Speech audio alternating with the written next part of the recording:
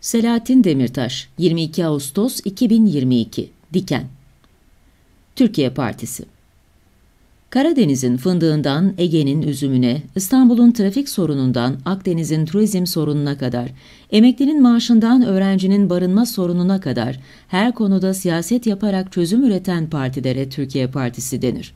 Böyle mi gerçekten? Gelin duruma bakalım ve takdiri size bırakayım. Eğer ki bir siyasi parti bu topraklarda Kürtlere, Alevilere, Ermenilere yapılan zulümleri, haksızlıkları, hukuksuzlukları dile getirip ayrım yapmaksızın herkesin hakkını savunuyorsa o parti için Türkiye Partisi değildir deniyor. Bir parti devletin vatandaşına çektirdiği acıları, köy yakmaları, faili meçhulleri, işkenceleri dile getirip bunlarla yüzleşilmeli, hesaplaşılmalı diyorsa o parti için Türkiye Partisi değildir deniyor. Dış politikadaki yanlışlarda hükümetin yanında yer almıyorsa bir parti, o partiye Türkiye Partisi değildir deniyor. Son terörist öldürülünceye kadar değil de sorunları kimse kimseyi öldürmeden konuşarak çözelim diyorsa yine Türkiye Partisi olamıyor o parti. Tek dil, tek millet anlayışına karşı çıkıp hayır bu topraklarda farklı diller, kültürler, halklar var. Birlikte barış içinde yaşayabilmek için bunların tanınması gerekir dediğinde bir parti sen Türkiye Partisi değilsin deniyor. Ama ve lakin belediyelerden saraya, kamu şirketlerinden bakanlıklara kadar her yerde halkın parasını milyon dolarlarla cebe indirerek devleti soyup soğana çevirenlere rahat rahat Türkiye Partisi deniyor. Bu memlekette Türk'ten başka millet, Türkçeden başka dil yoktur diyenler hayli hayli Türkiye Partisi olabiliyor. Kürdün, Alevi'nin yemeğini yemeyin diyenler, onlardan alışveriş etmeyin diye bildiri dağıtıp pankart asanlar fazlasıyla Türkiye Partisi olabiliyor. Türkiye'nin bütün kaynaklarını, taşını, toprağını bazen batılı şirketlere, yeri geldiğinde Arap sermayesine peşkeş çekenlere Türkiye Partisi denebiliyor. Hem de en Türkiye Partisi. Devleti mafyaya, çetelere teslim edip uyuşturucudan silaha kadar her türlü ahlaksızlığı devlet eliyle örgütleyip trilyonları götürenlere Türkiye Partisi denmesinde bir sakınca görülmüyor.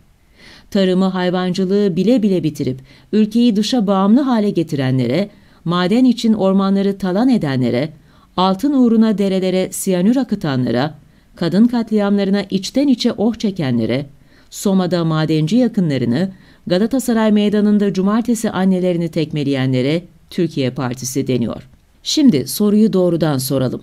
Türkiye'yi yağmalayanlar, talan edenler, Cumhuriyet tarihi boyunca devlet adına işlenen bütün suçlara ortak olanlar, sessiz kalanlar, Türkiye Partisi ise hangi Türkiye'nin partisidirler? Evet tam da bu Türkiye'nin partisidirler. Bu Türkiye'yi yönetmek için kendi arasında kayıkçı kavgası yapan iki çizgi var sırayla iktidarı devralıp Türkiye'yi sömürüp tüketip duruyorlar.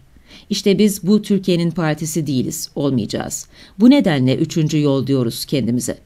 Bizim hedefimizdeki Türkiye'de tüm ezilenler, halklar, inançlar, kimlikler, emekçiler, kadınlar, devletin gerçek sahibidirler. Devlet halkın efendisi, gardiyanı, işkencecisi, hırsızı değil, hizmetkarıdır. Tek dilin, tek kimliğin değil, her eşit yurttaşın devletidir. Bir değil, iki Türkiye var. İlki ırkçıların, soyguncuların, talancıların Türkiye'si. İkincisi ise halkların, emekçilerin, kadınların Türkiye'si. Eğer siz birinci Türkiye'nin resmi ideolojisine uymayı, günahlarına ortak olmayı kabul etmiyorsanız, Türkiye'nin her yerinde de olsanız, Türkiye'nin tüm sorunlarına çözüm de üretseniz, birileri size asla Türkiye Partisi demeyecektir. İkinci yüzyılında Cumhuriyeti demokratikleştirme iddiasında olan herkesin radikal demokrat çizgiyi içselleştirmesi, Türkiye'nin gerçek ve biricik kuruluşunun buradan geçtiğini görüp buna göre cesur bir değişime yönelmesi şarttır.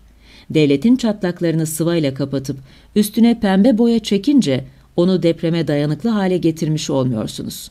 Biz ikinci Türkiye'yi Cumhuriyet'in ikinci yüzyılında inşa etmeye çalışan ve bu Türkiye'nin partisi olmaya gayret eden bir siyasi hareketiz. Bizi başka Türkiye partileriyle karıştırmayın sakın. Biz kim miyiz? Tabii ki Halkların Demokratik Partisi, HDP'den söz ediyorum.